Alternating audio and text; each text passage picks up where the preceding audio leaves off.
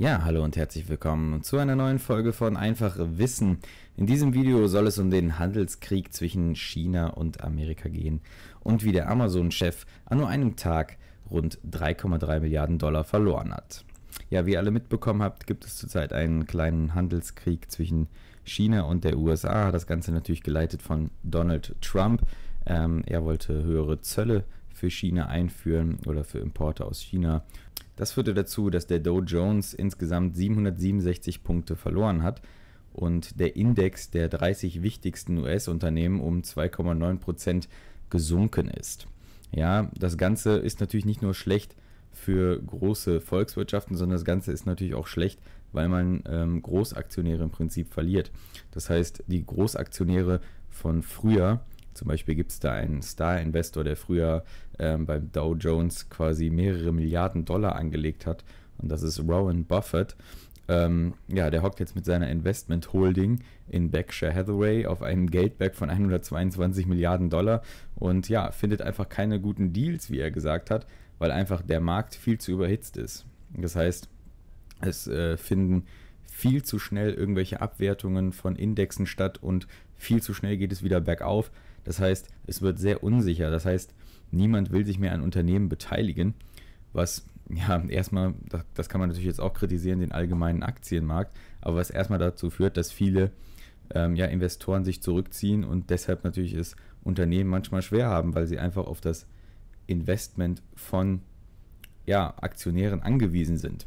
Und ähm, das überhitzt natürlich ein bisschen den Markt.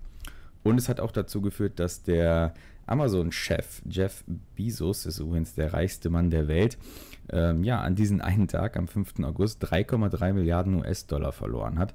Und die waren einfach weg. Weil nämlich seine Aktie vom Online-Riesen Amazon gestern fast 3% verlor. 3% klingt natürlich in unserer Welt nicht viel, macht natürlich auf dem Aktienmarkt einfach ein ganz, ganz großes Kuchenstück aus. Und ja, mal eben an einem Tag 3,3 Milliarden US-Dollar zu verlieren, ähm, ich glaube, das ist schon relativ hart anhand einer Aktie.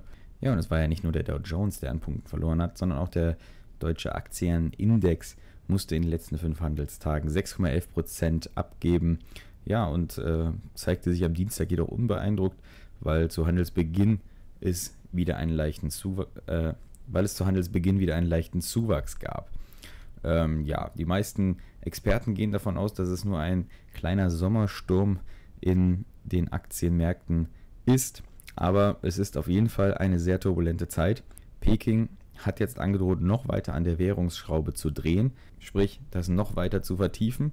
Es geht natürlich darum, die Währung runterzudrehen, um dann den Grenzzöllen der Amerikaner zu umgehen zu können. Ja, man kann dann den Grenzzöllen, die natürlich festgelegt sind, oder die Barriere, diese Schlüsselbarriere, ähm, fallen lassen und äh, muss nicht mehr auf sie Rücksicht nehmen. Ja, jetzt mal zu eurer Frage. Was haltet ihr von dem Handelskrieg zwischen China und den USA? Auf welcher Seite seid ihr? Seid ihr auf gar keiner Seite? Haltet ihr das einfach für bescheuert? Haltet ihr die Aktienmärkte eh komplett für überzogen? Und was sagt ihr dazu, dass der Amazon-Chef 3,3 Milliarden verloren hat? Schreibt es mal in die Kommentare, lasst mich wissen, was ihr davon haltet. Ansonsten bis zur nächsten Folge und ciao.